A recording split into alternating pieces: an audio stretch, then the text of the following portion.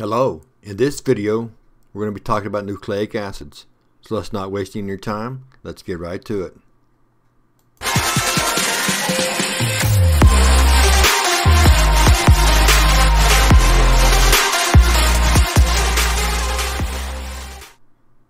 As with most of these uh, macromolecules that we've been talking about, uh, there's some general information that we need to talk about, and nucleic acid uh, has that uh, as well. Now, the polymer uh, would be a nucleic acid. Okay, that would be the full built molecule, dehydration synthesis, and all that stuff. Uh, so that's we're talking DNA, we're talking RNA, and the monomer would be the nucleotides, and we're talking those A, adenine, T, thymine, uh, C, cytosine, and G, guanine, the individual nucleotides. Now, along with having those bases, which are the A, T, C, and G, the nucleotides, uh, there's a sugar and there's a phosphate and there's whatever the A, T, C, and G uh, that's been added onto that. And we'll see that when we look at both uh, DNA and RNA. We'll point those out, but you can see the diagram beside me there. Uh, you've got your nitrogen base in the upper right hand corner. You've got your sugar there in the middle, and then you got your phosphate group uh, which is this, a similar phosphate group as we saw in the phospholipid, uh, to the far uh, left. Uh, one of the differences, and we're going to point this out specifically at the end of the RNA section, uh, is the sugars. For DNA, the sugar there in the middle is deoxyribose. Uh, that's got that OSE suffix that points to it as a sugar deoxyribose for DNA. For RNA, it's ribose. Okay, and depending on what sugar determines if it's DNA or an RNA. Everything else is, is the same. You've got your variations in your nitrogen bases, uh, but it's the sugar that determines uh, if it's a if it's DNA or RNA.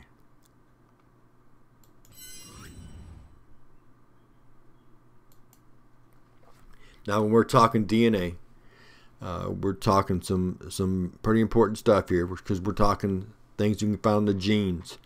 Okay, these are the things that determine all those physical traits that you can that you can see or the way you do things, hair color, nose size, ears, uh, whatever it may be. That uh, that information is uh, coded for genes uh, which is based on the amino acid sequence uh, uh, for the for the you know for the proteins. And for DNA, the nucleotide nitrogen bases are A, T, C, and G. Okay, uh, DNA is formed in a double helix, as as we as I'm sure you know, and we'll see a look at a picture of that when we compare DNA to RNA at the end of the RNA video.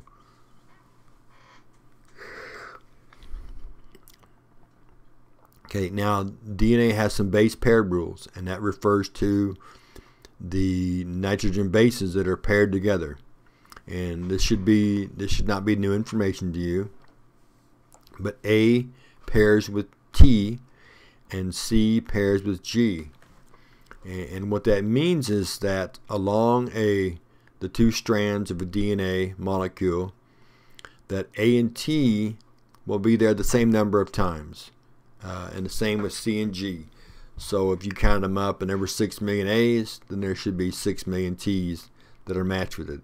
Uh, if there were 9 million C's, then there should be 9 million G's that are matched up with it. Excuse me. But looking at the diagram uh, beside me over there up against the edge, uh, you can see the phosphate, that's those little brownish circles on the very edges. Uh, and in the pink uh, geometric shapes, those are the sugars. So in essence, if you think of DNA, if you un uh, unwind it and unfold it and lay it flat, and think of it as a ladder, okay, those sugar phosphate alternating uh, connections, those are going to be the side rails of a ladder. Sugar, phosphate, sugar, phosphate, sugar, phosphate. And then the rungs going across, that's going to be the nitrogen bases. Okay, that's going to be your A, T, C's, and G's that are going to be hydrogen bonded together. That's where you'd put your foot if you were climbing uh, this particular ladder. Oh, and mention this in the top here. So when we're talking those base pair rules, uh, we're talking, you know, what letters are, are matched together. So when those DNA molecules are being read, if the protein reads an A, then it puts a T on the complementary uh, DNA. If it reads a C, then it puts a G there. If it puts a G, if it reads a G, it puts a C on the complementary pair.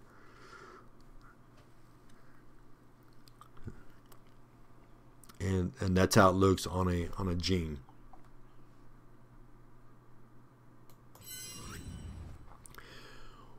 Well, that's our look at DNA. In our next video, we're going to look at RNA, and we'll also compare the two uh, to show the three main differences. So we'll see you then.